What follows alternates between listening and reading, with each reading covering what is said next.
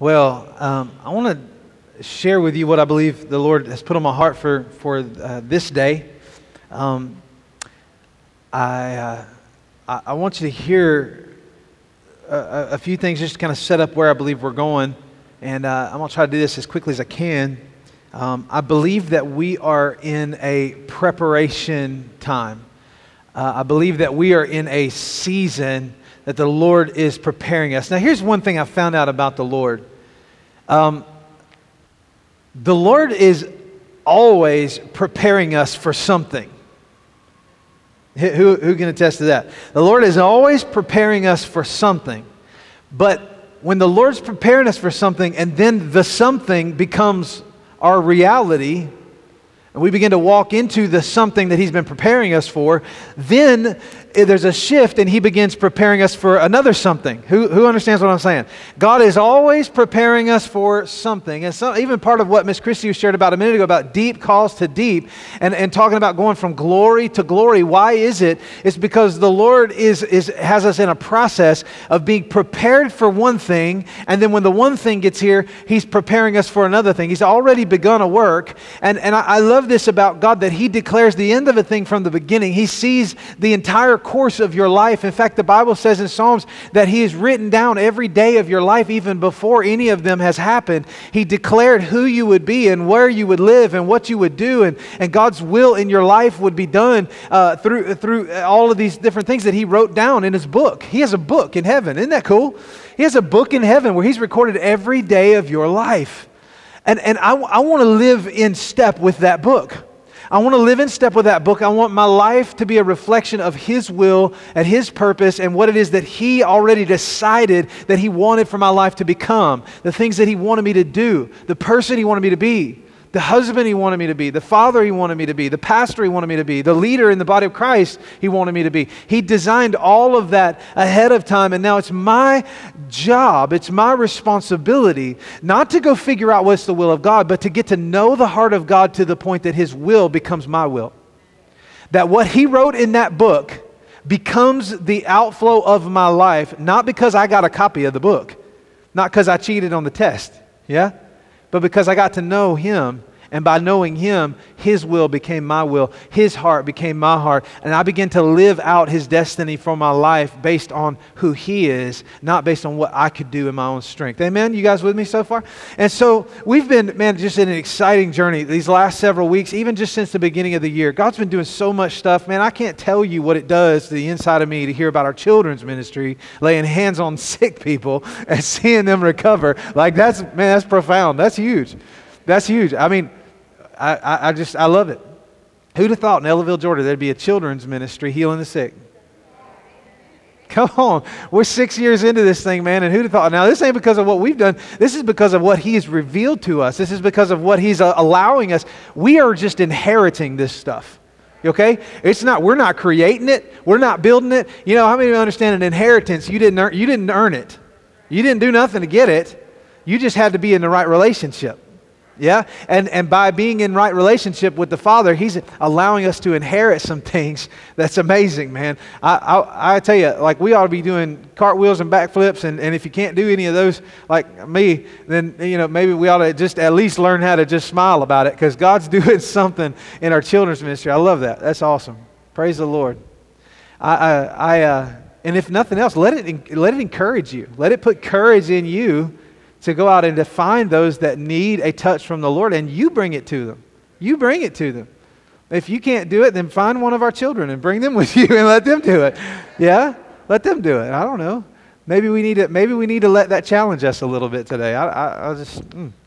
Well, I, so today, uh, I, I love the way that the Lord has set this up. He set up this, this service, I believe, today on purpose, and even the things that I, I didn't have any idea about uh, about that testimony, about how that, that was going to work, and all of that today. I knew that we were going to be sharing about that healing room this Wednesday night, but just praise the Lord I mean, what He's doing. But we are inheriting some wonderful things. And, and so I want to talk about um, inheriting the kingdom of God today. And that's, that's what our, our topic is here for just a few minutes. And this is a vast subject. This is something that's going to take some time. We're going to spend a little time in it. But like I told you, we're in a season of preparation. And God is preparing us in this, uh, in, and particularly, I believe, in the month of March, the Lord wants to do some things in our hearts and in our lives to prepare us for what's coming. Listen, I'm not, and I'm not even talking about our revival services in, in April. The Lord has dealt with my heart that there is some things going to happen in April. April is going to be a powerful month. There's going to be some major, major things happen in your life and in this church and this community in the month of April. I'm just going to let you know God's up to something. He's preparing us for it. I believe the month of April is going to be a strong, strong month, what the Lord's going to do.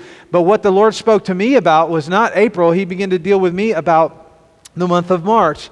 And that in the month of March, we are receiving our marching orders.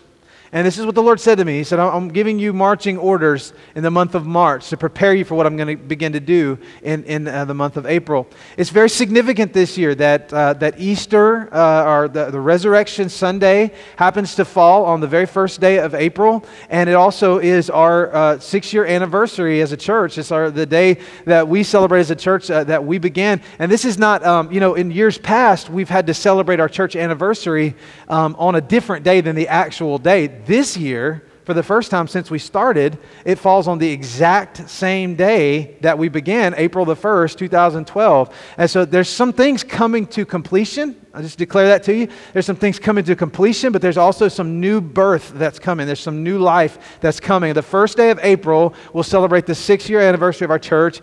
And I think that it's no coincidence that it also happens to be, if you pull it up on your calendar, it will say April Fool's Day. And, uh, and so we, we, we, we began this, uh, this church, this journey on April Fool's Day, uh, 2012. And when we kicked this thing off, I said, it's, you know, it's, it, a lot of people thought it was foolish. And, uh, and so we're still here, you know, six years later, and uh, I'll be a fool for him. You know what I mean? I'll be a fool. Uh, every, I'll be a fool about the resurrection of Jesus Christ. I'll be a fool in worship. I'll be, I'll, if, if it looks foolish to you, man, he loves it. He loves it. He loves it. He loves what's going on here. He loves the extravagance. He loves the heart being poured out to him. Um, I was just reading earlier, and I started to preach a message to you this morning, um, talking about that kiss of heaven, and I, I feel like maybe that's going to come back at some point. But, but I was I was reading that story this week of in, uh, in in Luke chapter seven about the woman, the adulterous woman that came and found Jesus in the house, and and she falls down at his feet, and she begins to weep over his feet, and she's kissing his feet, and she breaks open an alabaster box of of costly perfume, and she anoints him with this costly perfume, and this fragrance fills the house, and all these religious people are sitting sitting around in there going, huh, man, she should have done something. Does he even know what kind of foul woman this is that's touching him? And, and, and Jesus begins to teach them something. And the principle is this He says that he who is forgiven much loves much. And so, so the, there, there is. Uh, uh, uh, until you understand what's, what God has done in somebody's life, you have absolutely no right to judge their expression of love and worship for the Lord whenever you've not known what they've walked through and what the Lord's brought them through. Amen. And so you know what? I, I just I know I know that some people you know go, oh, that's kind of crazy over there. Well, maybe it's because they got so free. God did such a mighty work in their life that they, you know he who loves much you know, or he who's forgiven much loves much. It's the, it's the same principle. When we, when we worship the Lord, Listen, um, if, you've been, if you've been redeemed from hell, if you've been redeemed from darkness, if you've been brought from darkness into light, man, the only appropriate response to that is extravagance. I mean, really. I think we get over it too easy. We, we, we, uh, we forget about how good God's been to us. Amen. Man, I'm tired of just like little golf clap. Oh, Daniel's shoulder got killed. Woo, woo, woo. That's awesome. Wonderful. No, that's extravagance. Like that's that's that's like Man, we, we ought to be shouting in this place. Come on. We ought to be shouting about the things God's doing. We ought to be shouting about it. The devil's convinced us to be quiet about the goodness of God. But man, what would happen if a generation in the earth just, just decided, man, I'm not going to be quiet anymore. I'm not going to be silent anymore. I'm going to express the love that I have for him because of the great things that he's done in my life. I think it'd be powerful. So these are this month we're receiving our marching orders. He's he's calling us uh, deep's calling to deep. He's calling us to another level. He says, Get ready, get ready, get ready because I'm coming. I'm going to pour out my spirit again, just like I said in Joel chapter 2 and in Acts chapter 2. And he said, and Your sons and your daughters are going to prophesy. I'm not going to miss any of you. Listen to the word of the Lord. He said, I'm going to pour out my spirit on all flesh. I'm going to pour it out on all flesh. And these are the marching orders get ready, get ready, get ready because the Spirit of God is coming. When the Spirit of God comes, He's to, He's going to demand a response from us. When the Spirit of God comes, according to Joel chapter 2 and Acts chapter 2, there is a response from the people. And he says, Your sons and your daughters will prophesy. Praise the Lord. We've got sons and daughters laying hands on the sick. And I'm praising God that by the Spirit of God, they're going to prophesy. Come on.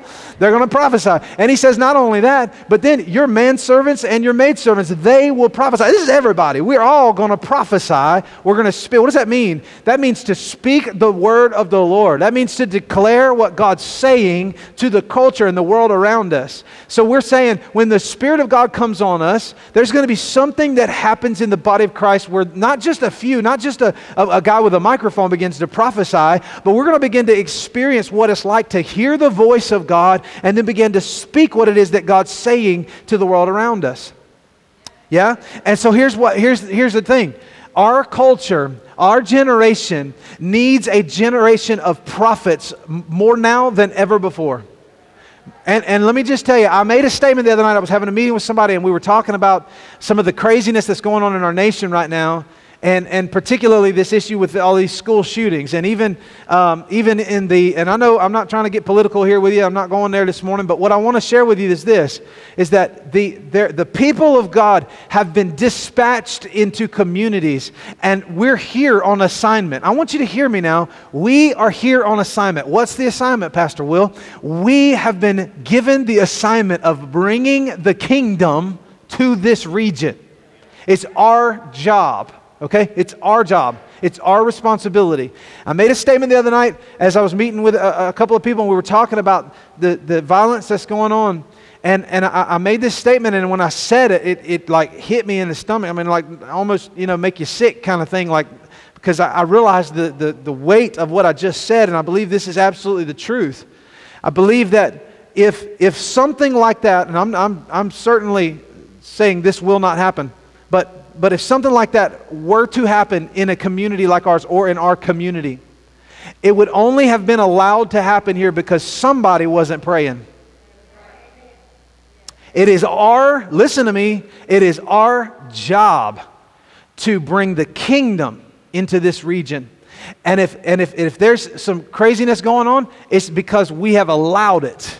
We've been given dominion, we've been given authority, we've been given an assignment of bringing the kingdom. Now, I know terrible things happen, hard stuff happens. I'm not saying that there wasn't nobody praying in these, in these places, but I, I want you to know this. Our job in this season, in this time, is to, is to stand in the gap, and it is to pray, and it is to call on heaven, it is to bring the kingdom of God into our communities. That's the only hope we have. Do you hear me? It's the only hope we have. You can talk about gun stuff. You can talk about uh, all you know, violent video games. You can talk about what, what, what's the cause of all of these things that are going on. And I want you to know you can go chase all those rabbits if you want to. But the truth is, is that nothing's going to change. It's going to continue to get worse and worse and worse until the kingdom comes. And we start bringing the kingdom. It's going to start to reverse the curse. It's going to start to pull back darkness. It's going to start to make a way where there's not been any way. It's going to start to change hearts and lives. You hear what I'm telling you? God has dispatched us into this planet, into this region, into this community to bring the kingdom so that stuff like that does not happen here. And you say, oh, none like that ever happened in, in, in our town. Come on. Hey, listen, the Lord's been opening our eyes to begin to understand some of the things that are going on here. Brother Fred will tell you. He might talk about, you know, I, I pretend like things, things don't happen in Ellaville. No, they do. They do. And I want you to know, just because we're a small town, we are still uh, exposed to darkness unless the kingdom of God, the kingdom of light, is established in this community. And that's what we're here to do. We're here to do it. So, what I want to talk about is, is, is I feel like in, in the month of March, God's given us marching orders. He's bringing us into a place where we need to understand what our position is in the body of Christ, and we need to understand what it is that He's calling us to do in the days that we live in. And one of the things, it's not just about us having powerful church services. Man, that's going to be part of it. I want you to know that the, these, uh, this flow of the Spirit that's begun in this place, it's only just begun. It's only just begun. And we've not even scratched the surface of what we've uh, uh wanted to see God do. We've only just scratched the surface of what it is He's going to do in this place.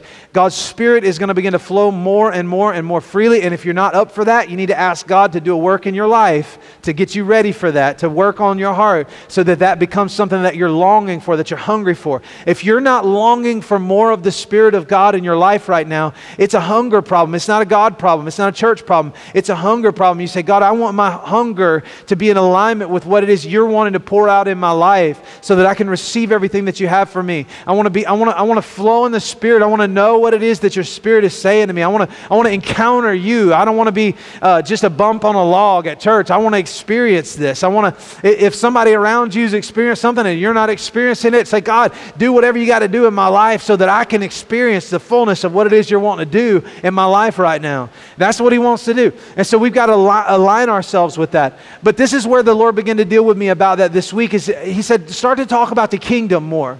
You know, I, spoke Wednesday night just briefly uh, about, well, it wasn't brief, but I, I, didn't even get into some of the things that I was talking about, but uh, wanting to talk about. But the Lord was dealing with me Wednesday night about talking about the kingdom more, and beginning to express the kingdom, say, talk about the kingdom.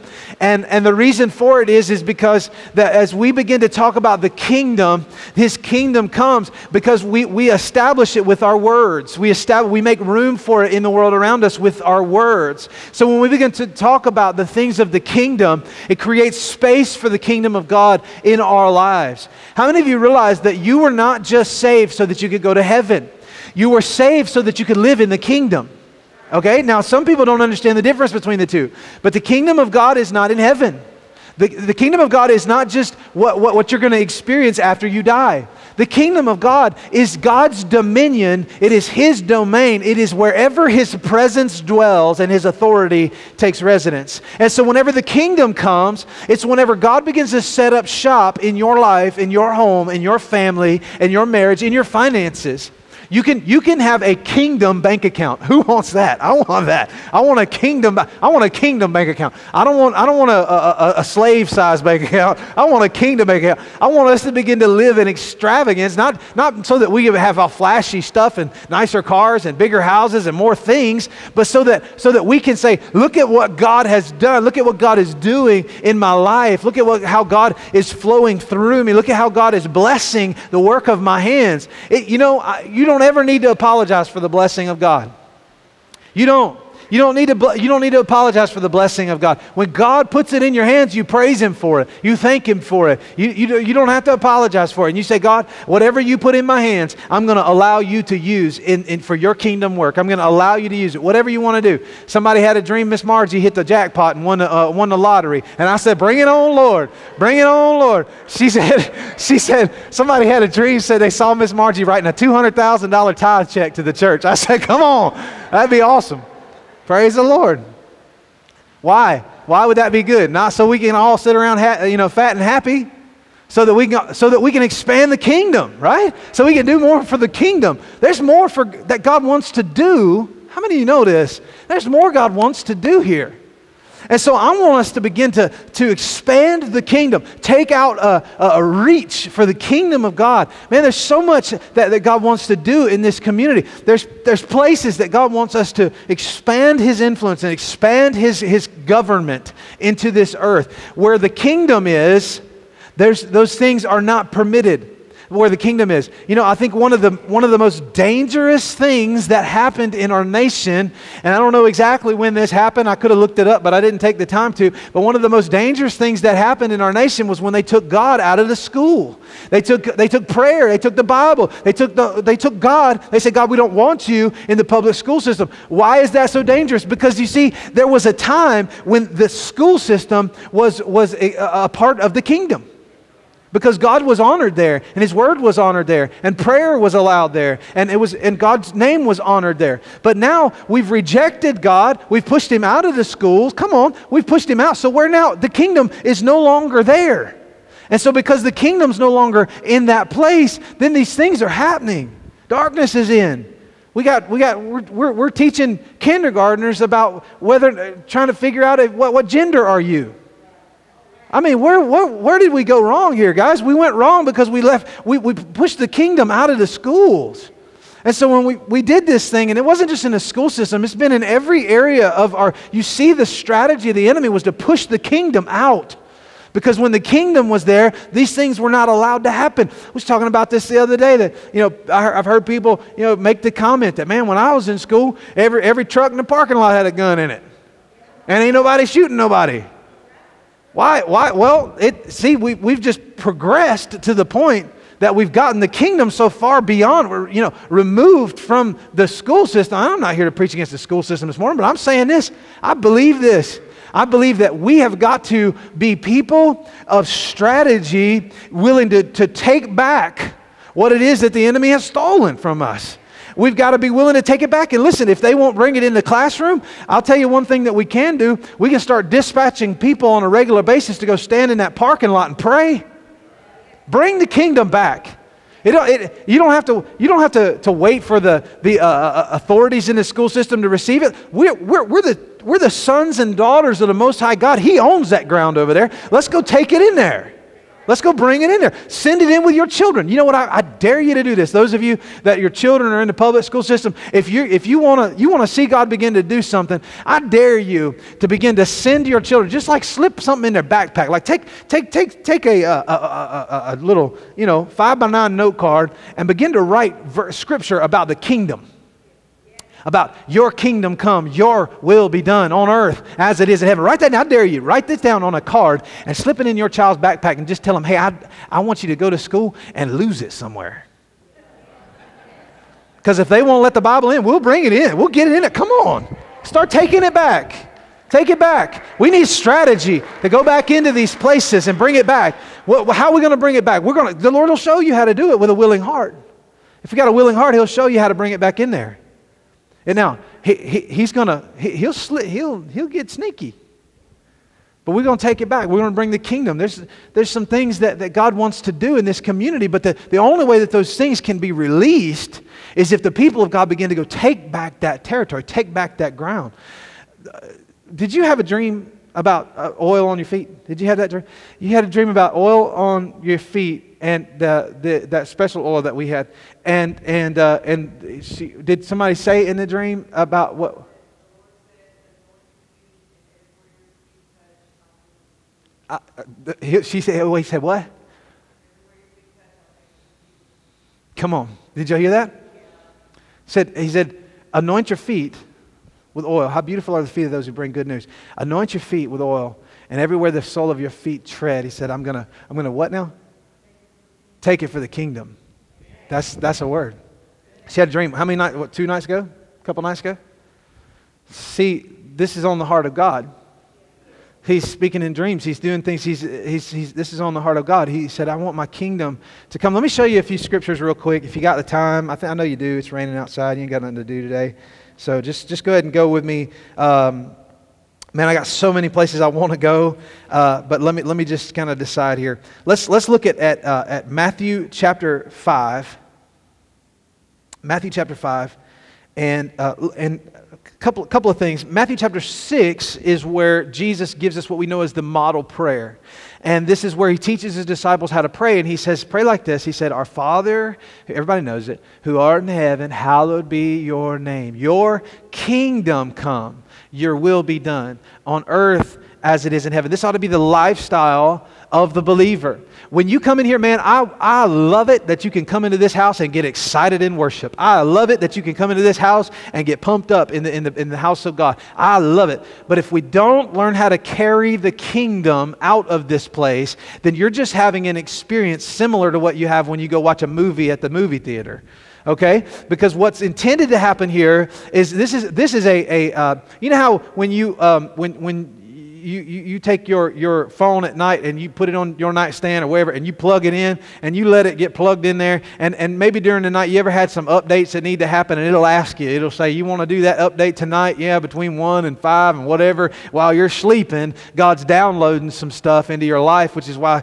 we having dreams because that's exactly what the Lord's doing. But even so, the kingdom of God in this place is meant to be you come in here, you get plugged into God's presence, and then he, He's downloading some things into you even right now. They said, I'm not here to just make you feel good. I'm not here to, to, to stimulate you in some kind of way. This is, this is real stuff. And God is imparting things, He's installing things, He's updating some things, He's, he's putting in some necessary drivers and some necessary things that you need so that you can walk out the door and you can, you can carry this with you and you can, be, uh, you can accomplish this stuff on the outside of this building. It's, look, this is, it's one thing for the kingdom to come in the four walls of the church, but what God's heart is, is that it would come in your neighborhood, it would come in this school, it would come in this community. You get what I'm saying? He wants us to get such an installation of His presence in this place that then we can carry that king, the kingdom of God into the world that we live in. So in Matthew chapter 6, He tells us, pray this way Your kingdom come, your will be done on earth as it is in heaven. And then just over a few more verses, He's talking about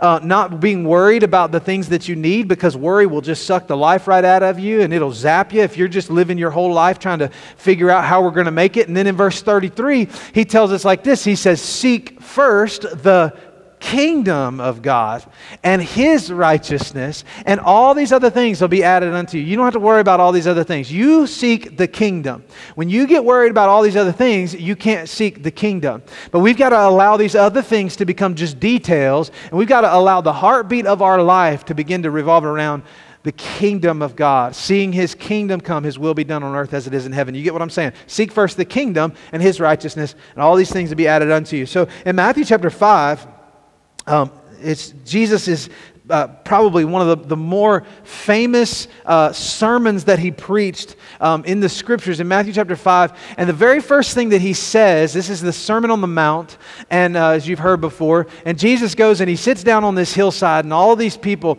uh, are gathered around Jesus, and he begins to teach. And the first thing that he said is this Blessed are the poor in spirit, for theirs is the kingdom of heaven. Blessed are the poor in spirit, for theirs is the kingdom of heaven. Now, this is significant. The very first words of this most famous sermon of Jesus are Blessed are the poor in spirit, for theirs is the kingdom of heaven. We realize that Jesus, uh, he initiated his ministry with this message. He said, Repent, for the kingdom of heaven is at hand. It's near, it's available, it's within reach. Okay? This is the sermon of Jesus. And then the very first words of this famous sermon, he says, Blessed are the poor in spirit, for theirs is the kingdom of heaven. When we talk about being poor in spirit, uh, many of us don't have an, uh, any concept of what that means. I had a talk with, with uh, one of my children this, uh, this week or last week about what does that mean to be poor in spirit. We were listening to a song, it was called Poor in Spirit. And it's like, what, why, why would we want to be poor? That don't make any sense. Why would we want to be poor? And, and it, it, it, doesn't seem to make sense to our natural mind. But what he said was not, not, not, not blessed if you're poor. He said blessed if you're poor in spirit. Now, what does that mean? You would think that God doesn't want you to be poor in any way. Right? I mean, you would think that God doesn't want you to be lacking in any way, but He's not talking about lack. He's talking about an acknowledgement of, of a great need for God. He's talking about being hungry for the Lord. He's talking about being hungry for the things of God. And He said, if you're blessed are the poor in spirit, because the poor in spirit are going to receive the kingdom. They're going to experience the kingdom in their life. The kingdom is going to come in the lifestyle of those that are poor in spirit. Now, I, I want to, you say, oh, well, that, that sounds wonderful. But let me just paint this picture for you because I, I think that, that one of the things that we see happening, particularly in this community, and it's not just here, but I know in this place, this is one of the marching orders that the Lord has, has called us to, is to become poor in spirit. And here's the reason why because it is the absolute opposite of the current spirit, the state of the religious in this community.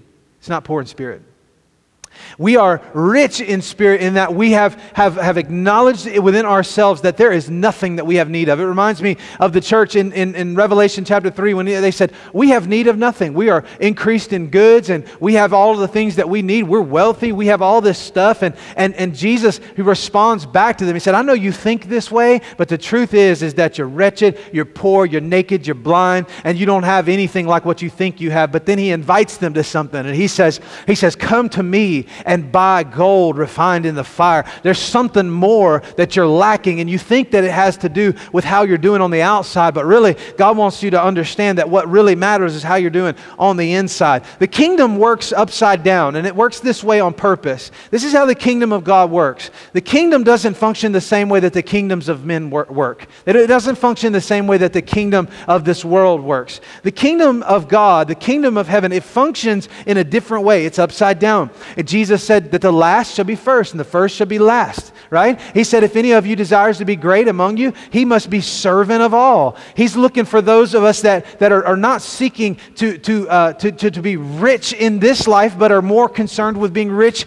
in heaven, being rich in that life. Where it's, it's where's your priorities at? It's where's your heart at? He said, don't, don't give yourself to the, the, uh, this world or the things of this world, but be, be uh, so, uh, lay up for yourselves treasures in heaven. Why, why is, is the kingdom different than what we think? It's because God's kingdom doesn't function the way that the world's kingdom works. And because God's kingdom works differently, it, it works differently on purpose because there's supposed to be a, a, uh, a strong, uh, defined line between the kingdom of heaven and the kingdoms of this world. It's supposed to be different.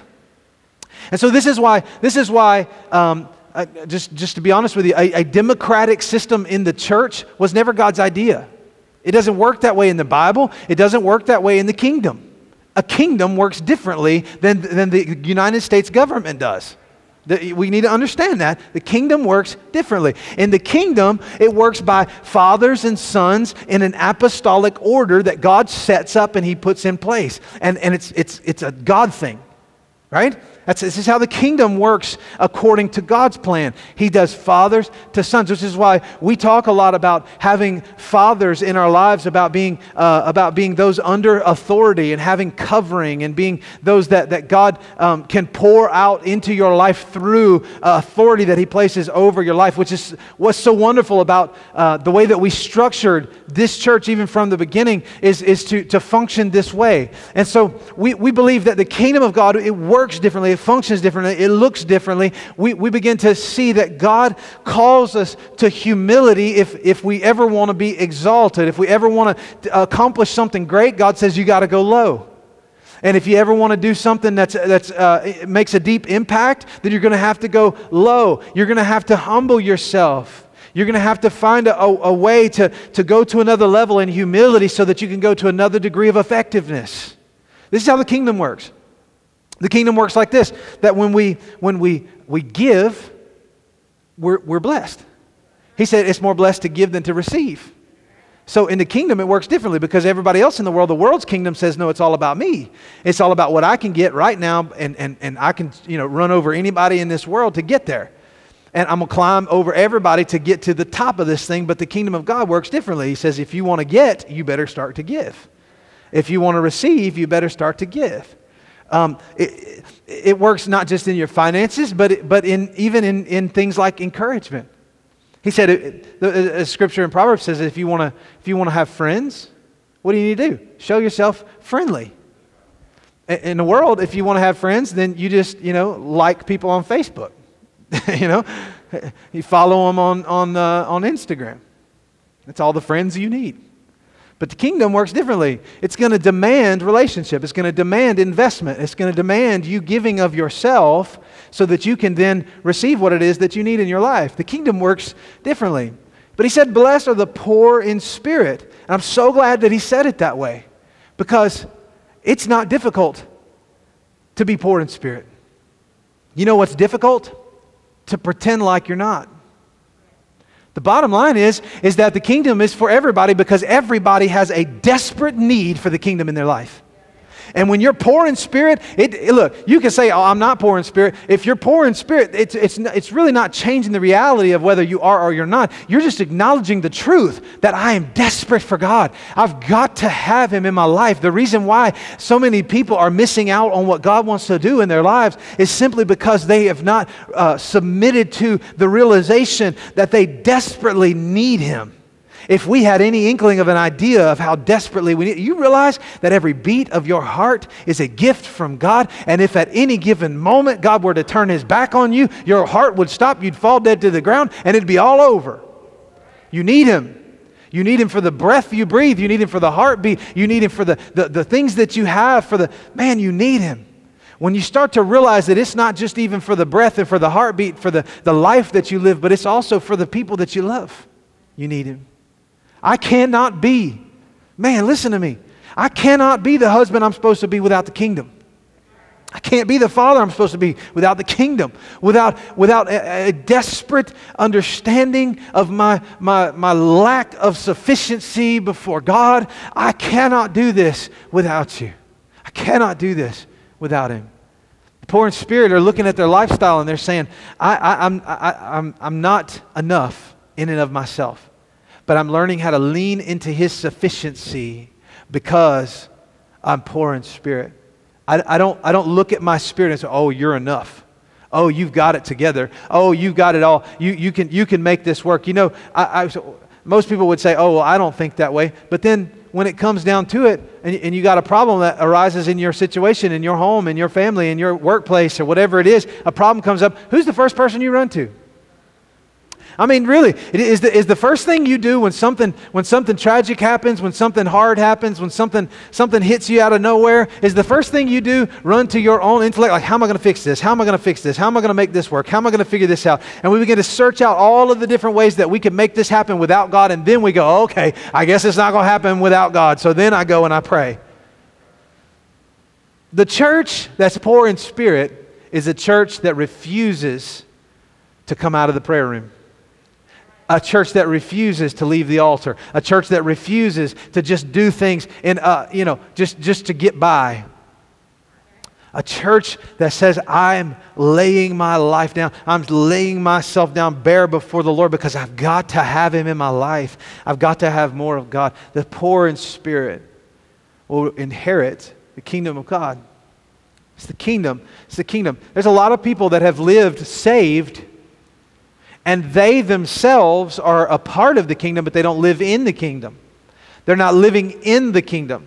It's, it's, a, it's, it's one thing to, to, to have a, you know, a kingdom address, and it's, it's another thing to, to just have an association with the kingdom. God wants us to become people that don't just talk about where we're going to end up in the kingdom one day, but we begin to live like we live in the kingdom today. We are the kingdom of God. We carry the kingdom of God. We've inherited the kingdom of God because we realize how desperately we need Him. So here's the march, marching order I believe the Lord has called us to. One of the things that I believe the Lord is saying to us right now is in, in, in, the, in the, the, the way of get ready, get ready, get ready, I believe the Lord is telling us that we need to take the time to be honest with ourselves, to be honest with God, and to be honest with one another about how desperately we need God. You know, something about religion tries to convince us that we don't, we don't want to seem in any way needy we don't want to seem in any way insufficient. We don't want to seem in any way like, we, like we're struggling, like we're going through something, like we need help. But I, I think that when Jesus is talking about being poor in spirit here, he's not just talking about you, uh, you know, showing up and, and, and, pretending like everything's okay. It's no, it's you being poor in spirit means that, that you are, are showing up and you're saying, God, in this moment, my situation, my, and even if things are going well, my situation is desperate. And I've got to have you. You know, let me, let me just put you in a, in a, a little bit of a scenario here. There's been, um, over the last few years, there's been a lot of people that have done a lot of talking about, you know, what if, what if the economy crashed and what if everything just busted up and, and what, what would happen if, if all of a sudden we didn't have access to the, the, the things that we have access to right now. What would, what would life be like if, if all of a sudden you couldn't go to Walmart and get your groceries, or you couldn't go to the Dollar General and get your groceries, you couldn't go to Piggly Wiggly, you couldn't, what, what would life become like if, if we actually began to, to have to be sufficient in ourselves? You know? And there's a lot of people that invested in, you know, seeds and they've got they've got, you know, tools and they got things so that, you know, if the day ever comes, man, I got food tucked away and, and whatever. But what happens when all of that's gone? And what happens whenever you have got to learn how to sustain life yourself? You can't depend on the, the grocery trucks to bring your milk. You can't depend on anybody to bring you anything. I want you to I want you to realize something. Have this revelation with me for just a second. We say we're free. We believe we're free in this nation. But if we have not put our trust in God fully, we are bound to the world to keep us alive. Completely bound to the world. Listen, if, if they quit driving them grocery trucks, you're going to see the real people start coming out. Folks, folks going to get real. And it's going to start wondering, like, you know, I'm, I'm, I'm going to take care of me and mine, and you, you can go jump in a lake, you know? I'm not worried about you. I'm going to take care of, of me and mine, and I'm going to I'm to make sure that, that we got what we need. And, and, and if, if, if, if we ever were to live in that scenario, what would your daily life look like? I think number one, everything in your life would begin to revolve around what you eat. Everything. You think about it, it would begin to run, revolve around what you eat. You'd begin to get up in the morning and go, okay, I got work to do. I gotta go, I gotta go plant this, I gotta go, I gotta go, you know, till that, I gotta go take care of this, I gotta go, I gotta go shoot something to, to feed everybody. We, everything in your life on a practical level would become about how you're gonna eat, how you're gonna feed your family. Right? That's that would that would be it finding water, finding food. That would be it. You've seen some of these these um, these uh, you know TV shows where they're you know they're trying to figure out what would it be like if if you know somebody dropped a bomb on us. What would it be like if there was some you know catastrophic tsunami and you know how would people live? And the number one thing is is is figuring out how you're gonna eat. And, and, and here's the thing all of your life, whoa, excuse me, all of your life would begin to revolve around how you're going to eat, how you're going to feed your family. Listen to me. And, and here's the truth spiritually, we need to take on the posture of figuring out daily how we're going to eat. Because we've become so spoiled. Listen to me, I just about fell off the platform because this is such a big deal. We've become so spoiled. We got YouTube, we got, we, got, we got stuff online. We can look it up. We got Bible apps on our phone. Listen, you better get you a Bible. And you better learn how to read the paper version. And I'm just telling you because there ain't no guarantee you're going to all the time have that Bible app. I'm not prophesying nothing. I'm just telling you. You need to have the hard copy, the real deal. You, need to, you, you just need to have it. You need to have it with you. Amen, Miss Ginger. Thank you. She's the it. Yes. Yes. But, but you, here's, here's the reason why. Spiritually, if, if we don't focus on how we're going to eat, then what happens? Now, the kingdom works different, remember? It's backwards. So, in the kingdom, when you don't eat, you're satisfied. But in the kingdom, when you eat, you get hungrier. It's, it's upside down. And so in the kingdom, we're supposed to be poor in spirit and we'll receive the kingdom. Why is that? It's because we need to live every single day with an appetite for the things of God. Now, here's the marching order for I'm, I'm trying to get us ready for something here, guys. I'm trying to get us ready for what God's getting ready to do here. But God is not going to be able to do everything He wants to do in this church if we're satisfied Christians. Uh, now, you might say, well, uh, you know, I, I, I, love the presence of God, and, and, I, and I come on Sundays, I come on Wednesdays, I come on Fridays when we have Friday night and worship, and, and I, I go through all of the motions, I do all of the things, and that's all well and good, and that's wonderful. Thank God. But what about the rest of the, you know, I don't even know how many hours a week that is that you're here. That's wonderful that you do that here, but what about the rest of the time? Do you eat? Do you feast on God? Taste and see that He's good? Have you had a, a, a, meal at all since last Sunday? I mean, I'm asking you. Because if we don't begin to develop a, a culture of, of hunger that's not just on Sundays and it's not just on Wednesdays and it's not just when we're having a powerful service, uh, you know, like I, I, I almost wanted to sneak our, our revival services up on everybody, not even tell anybody about it. Just April 9th through 13th, and just like, hey, I want everybody to just come in here. I, I don't think it ought to be like a special time when we say, oh, we're going to be more hungry that week than we are this week. No, if you're not hungry now, man, come on. If you're not hungry now, what's going to make you more hungry April 9th through the 13th? That's, that's crazy.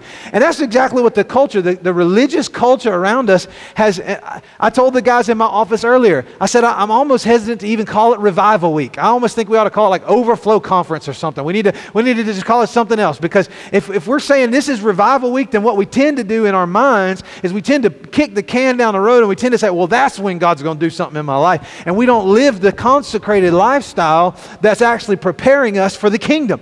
I want you to know God is going to do something in the month of April in this church. It may or may not have anything to do with April 9th through the 13th.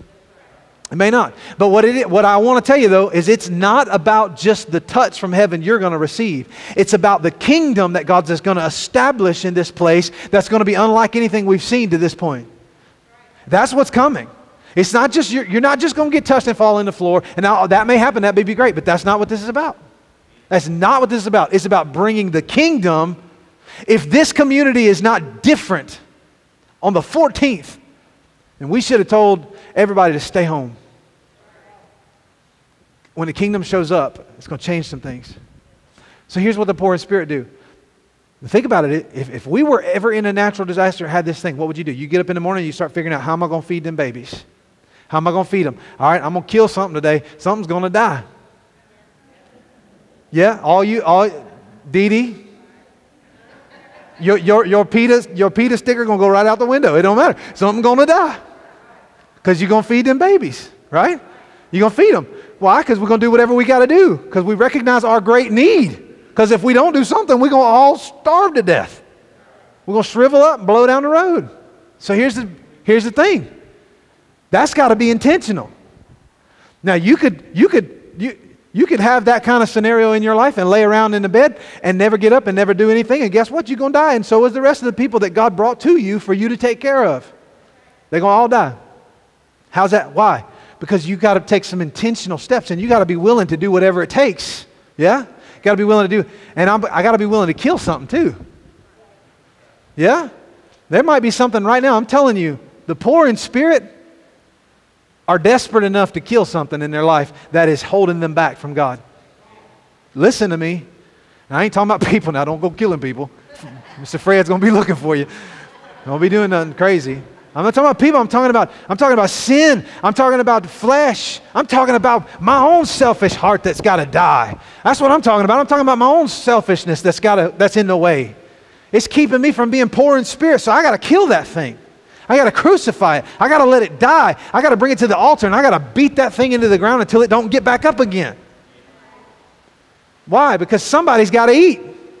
And if I realize how poor in spirit I am, then I'm going to do whatever I got to do to make sure that that thing is dead. You hear what I'm telling you? These are the marching orders. We're getting ready for something, guys, but this is the people. The people that are going to receive it are going to be the ones that are willing to say, I'm poor in spirit, not just by what I say, but how I'm living my life. When you get up in the morning, you're going to start deciding, I got to eat today. My family's got to eat today. I got to do something because somebody's going to have to eat today. And so I'm going to need to get, uh, I'm going to need to get an awareness of how desperately I need God on Mondays and Tuesdays and Wednesdays and Thursdays, not just on Sundays. I gotta, I'm gonna have to. Now, if you were back in that scenario, you'd be, you'd be figuring out, okay, now today, I'm gonna have to kill something, we're gonna have to eat. But, but long term here, I wanna be able to eat in six months. And, and by the time that rolls around, I might, I might have killed everything off that's, you know, it might not be nothing left for me to kill, which would be a good thing spiritually. But, but, but six months down the road, I'm gonna have to look down the road and I'm gonna have to say, I'm gonna have to eat then too and I'm gonna have to eat. I'm, my children are gonna have to eat then too. So you know what that means is that I better start planting some things in my life today, so that in six months I'm gonna have a harvest. We're gonna have bread to eat. We're gonna, we're gonna have bread on the table because I made a decision today. You get what I'm saying? I made a decision today that we're gonna eat in six months, and the only way that's gonna happen is if I put the seed in the ground today. The poor in spirit. Is anybody having a revelation of this this morning? What does this mean? What does this mean to be poor in spirit? And why did Jesus say that the poor in spirit will inherit the kingdom of God? The reason because a poor a person that is poor in spirit has recognized their great need for God and they're willing to do whatever it takes to get there. They're willing to do whatever they, they're willing to make the adjustment in their lifestyle. Now, there's going to be some of those people that are foolish that in an environment where all of it's going to demand all of their time to make sure that they have bread, to make sure that their family is fed. But there's going to be those that are foolish that are still going to go play golf when they ought to be feeding their family. All right, now listen to me. Because here's the thing I ain't got a problem with golf. I mean, I hate the game of golf personally, but that's just, you know, because I'm terrible at it. If I was better at it, I'd probably love it, but I'm not. I'm bad. It's not golf. It's not, it's not golf that's the problem. It's, it's, it's that in that environment, when you realize how desperately you need to be fed, listen, to choose to go swing a stick at a little ball is foolish. Now, I'm not telling you don't go play golf. I'm telling you that, because none, remember, everything here is, is, is not, I'm not talking about natural things. I'm talking about spiritual things. Can you, can you receive it this way? I'm saying there, if, if the world were turned upside down today, and there were no longer, you didn't have access to the grocery stores and to the gas stations and to all the things. You wouldn't be running around wasting your time on things that really didn't matter in eternity. You would be giving yourself to the things that matter. You would be pouring your life into making sure that you could take care of those that were around you, that you could take care of that. Come on, they're in your house. If you would be care, your priorities would change. There would be some things turned upside down. You wouldn't spend hours a week just watching TV. You would be giving your life to making sure that, that the, those that are around you and that yourself, that you are fed, that you are able to sustain the life that you've been given. Now, those that are poor in spirit are making adjustments in their life. There's t- I'm going to say something and it's going to sound mean, but I'm just going to say it. And you got to know my heart. I love you. I love you. I love you. I love you. Okay? I, I love you. I need somebody to love me sometime too. Like, I love you too, Pastor Will. Okay, thank you. Because there's a lot of people, thank you. There's a lot of people that don't love me because I, cause I say things that they don't like, but that's just how it is. But the truth is, is that, that there are a lot of people that are willing to play the game so long as it does not require them to make adjustments to their lifestyle. The difference between a church that's on the move in the Spirit of God, with the kingdom of God being established on the earth like God wants to do, the difference between that church and the church that is playing the religious game is simple. One is willing to make the adjustment, one is not. If the bottom were to fall out in our economy today, the adjustment would have to be made in your life if you're going to survive.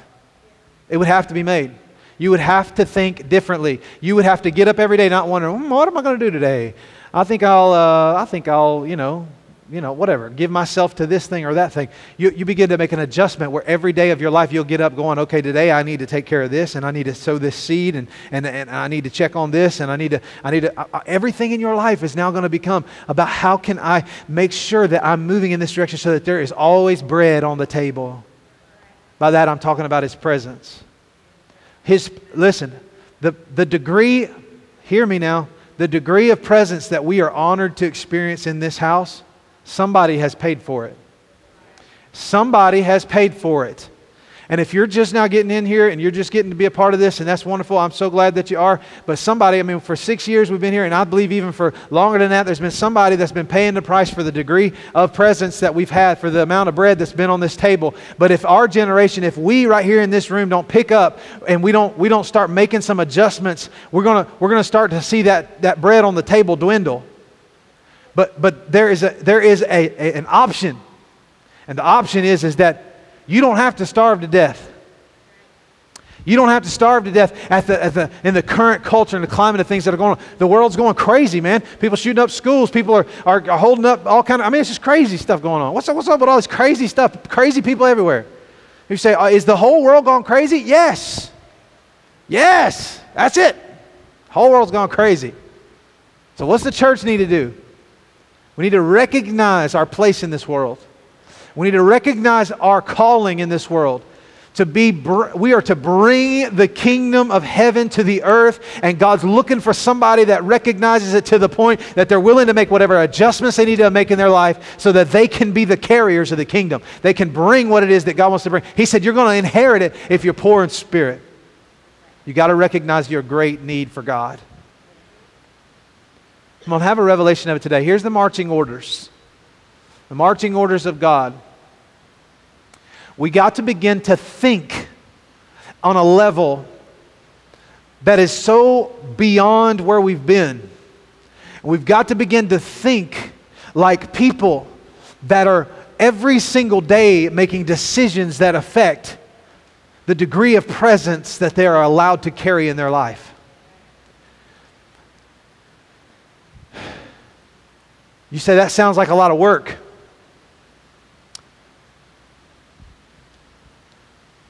People get all fidgety and they get all funny when you start talking about work in the kingdom. But let me just go ahead and put it to you like this there are some things that God will give to you, like salvation, grace. Grace is free. He bought you with His blood. He paid the price. Now it costs you nothing because He paid for it. He paid for it. Now, what was the whole point? Jesus paid the price so that we could inherit the righteousness of God, so that we could become the righteousness of God. He paid the price so that we could become the righteousness of God. That's the gospel. There are some things that God will give to you, very few. Salvation, His grace, He'll give it to you. Everything else, everything else in the kingdom, you're going to have to go get it.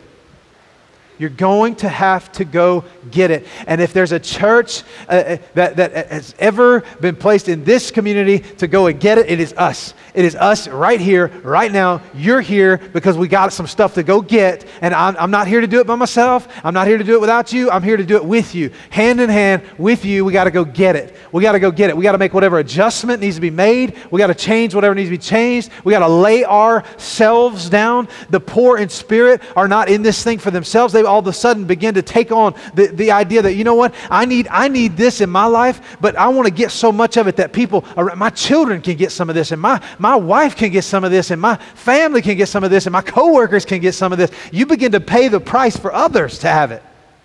Yeah? So you come in here on a Friday night and you worship and you, you, you come in here and you give God so much of your heart that you leave here with no voice left, but you've just invested into something. You just sowed a seed in the ground and you may not see that bread on the table for six months, but harvest is coming, guys. Harvest is coming. And every time you come in here and you recognize your need for God and you go after Him and you make the adjustment in your life, you are preparing for harvest. You're preparing the ground for those to be saved that need to be saved for those to be delivered that need to be delivered, for those that are lost to be found, for those that are sick to be healed. You're making a way for the world to experience the kingdom. Come on, that's what you're doing. That's what we're doing in here. Say, there's not many people here. That's okay. It don't take many. It don't take many. He's never been about the crowd, man. You know what he did? He told 500 people. He talked to 500 people. He said, Wait in Jerusalem for the promise of the Father. He said, I'm, I'm going to pour out my spirit not many days from now. And so they go and they go into Jerusalem. They find an upper room. And what started with 500 people by the end of 10 days was narrowed down to 120. You know, that, that, that means the majority, the large percentage of everybody left. They said, Man, I got things to do. I got this. They weren't willing to make the adjustment. You get what I'm saying? I got things to do. I got stuff going on. I live in a busy world. My life's busy. My, I got this happening and that happening and this happening. You need to begin to free yourself up from some stuff. If you, if you are killing yourself trying to make your ends meet, then you got too many ends. You need to take care of some of the ends that ain't meeting because you're killing yourself trying to do it. And God said, no, you need to make an adjustment so you can seek me. Some of you need to, you need to be willing to say, my family is going is gonna set aside time to spend time in the presence of God. My family is going to seek God together. We're going to make it a priority. We're going to make the adjustment because I know everybody here got to eat. We got to eat. All right? Man, here comes the rain. So 120 people was all that was left out of 500 people. You want to talk about, man, this, this is not starting good. The church was birthed on a day that seemed like the majority of everybody just kind of checked out. Said, I'm, yeah, this isn't exactly what I thought it was going to be. A 10 day prayer meeting? Come on. 10 days of prayer? I got stuff to do. I got, I got, I got things happening, man. I, have been missing my favorite show. This two weeks in a row now. My favorite show been on TV. I missed it two weeks in a row. I ain't doing that again. See, not willing to make the adjustment. And the Holy Spirit fell on 120 of them. And because they were there, they had made the adjustment, they had recognized their need. I believe it was 120 people that said, you know what? I don't care what it costs, and I don't care if it's in 10 years from now. I, Jesus said he was going to do it. He said he was going to, and at this point, they don't even know what it is. They don't even know how it's going to be. They don't even know what this is going to happen, how it's going to work. And he just said, I don't care how long it takes. He didn't tell him it'd take 10 years. He just said, You wait. You just wait. You do whatever you got to do. You make whatever adjustments you got to make in your life so that you can wait on me. And when I show up, it'll be worth it. It'll be worth it. Hear me, church. Hear me. We got to make some adjustments. We got to make some adjustments. We got to be willing to do whatever it takes. We got to be willing to pay whatever price. I know that before the Spirit of God fell on Father's Day 1995 in, uh, in Pensacola, Florida, that church had spent two and a half years on its knees in prayer. Two and a half years they prayed. And, and, and I don't think, but it was a handful of them. But however many of them it was, they said, I'm not getting up, I'm not moving. I don't know how long it's going to take, but I'm going to pray till God sends His Spirit, till God shows up and does what He wanted to do in this place. The kingdom of God showed up. I want to be a part of something where the people are willing to recognize how desperately we need Him. You know what? Everything else, every other, every other ministry, every other church, every other religious organization, anybody that is functioning just for the sake of having church and having stuff and having an event and having, having, having uh, fun things for your kids to do and things going on for your youth and, and stuff going on for, for your marriage and stuff happening for your finances. And I mean, all those things are wonderful.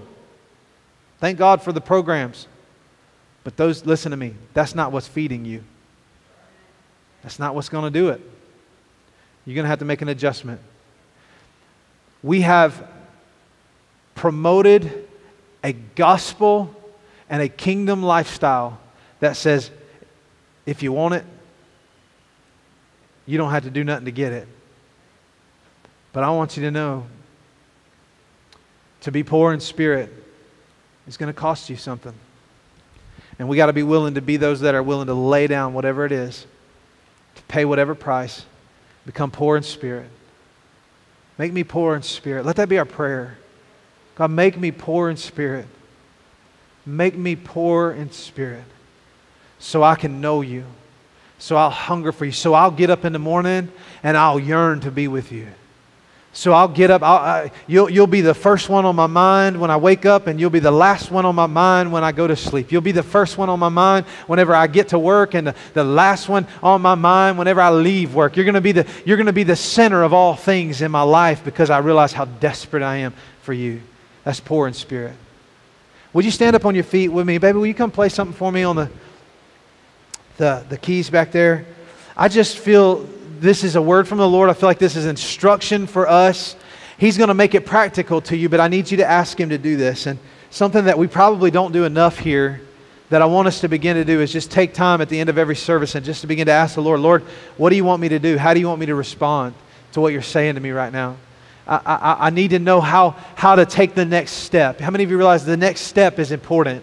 It's important. What's the next step God's leading you to today? It, it, it's going to require something. It's going to require some, some uh, effort. It's going to require some adjustment in your life. And so, Lord, I, I do, I pray that right now, Holy Spirit, that you speak to every heart and every life in this room. Lord, that you reveal what adjustments need to be made that you show us what things in our life need to be killed, what things need to be destroyed, what things need to be done away with us. And, and, Lord, may we be poor in spirit, God, to the place where we're willing to do whatever it takes, whatever it takes, Lord, to prepare the ground, whatever it takes to sow the seed, whatever it takes to give the time, to, to, to pour out the water of, the, uh, uh, uh of time over, over this seed, God. May we be poor in spirit. Come on, will you ask him that?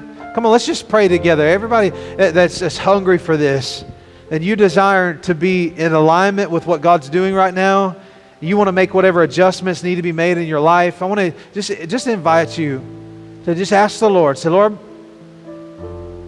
make me poor in spirit. Make me poor in spirit. God, make me aware. Come on, pray that. Make me aware of my great need for you.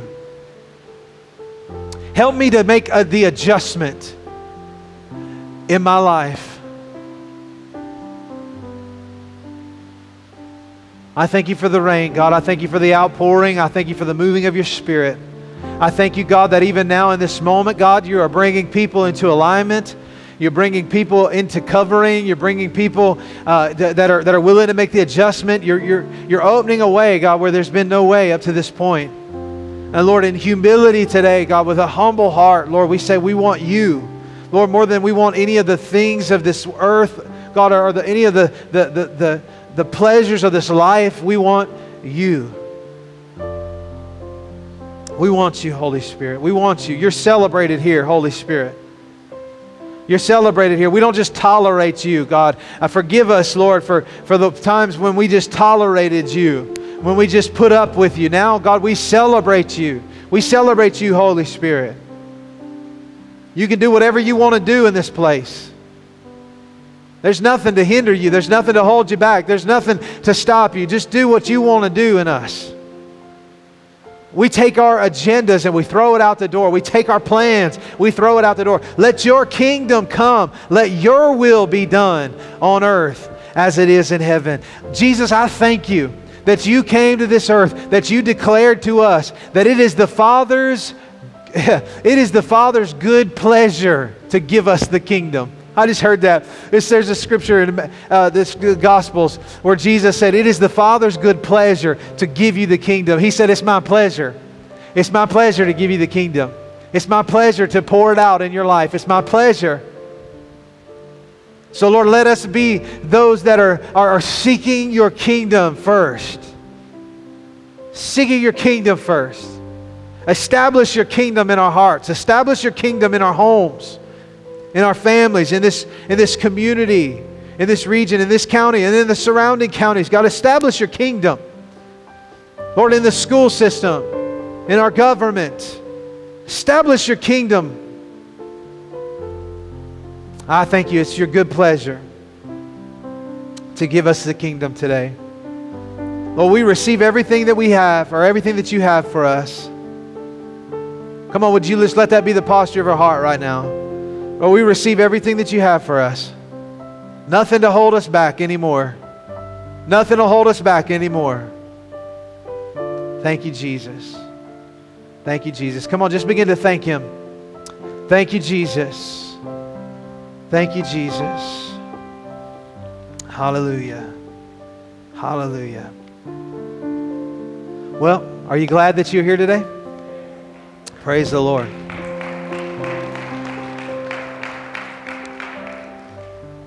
Well, I uh, I don't know. We just we just one step at a time here, guys. One step at a time. The Lord's doing some things in this church. I want to uh, uh, I want to encourage you to share with others what God's doing in your life. Um, I want to, I want to, I just want to say it's important that we open our mouths and that we share with others what the Lord's doing in our life. And I just, just even last night, somebody was, uh, or night before, I don't know, one, one night recently, um, I just, somebody, somebody just was talking to me about what the Lord's been doing and how the Lord's been showing up. And, and, uh, and they, they shared some things with me that are just that other people have said about how God's moving in their life. And and uh, man it really encouraged me just really encouraged me. Um, and I, I, I want us to, to become people that, that, you know, we don't just experience God on Sunday morning and then go on the rest of our week and pretend like it never happened. You know, it's just, it's just not, that's not going to work. You know, when you, when you really fall in love with Him, it's going to be hard to shut you up about Him, you know?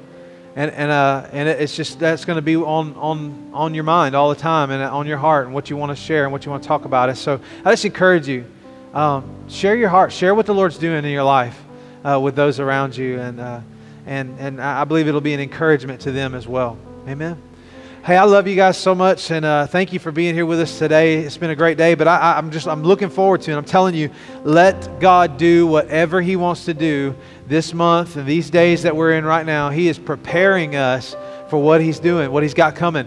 And I, am not saying it's the, it's the, you know, what we're coming into is the end of it. I'm just saying he's preparing us for what he's got for us next, and then he's going to be preparing us for what he's got for us next, and then he's going to be preparing us for what he's got for us next. And this is a, this is a great life to live. Amen. It's, it's, a, it's an adventure every day. It's an adventure with God, and he's doing something. And praise the Lord. I wouldn't rather be alive at any other time than right now. Amen. It's, it's a great day. It's a great day. Hey, well, God bless you. I love you. Have a wonderful rest of the week.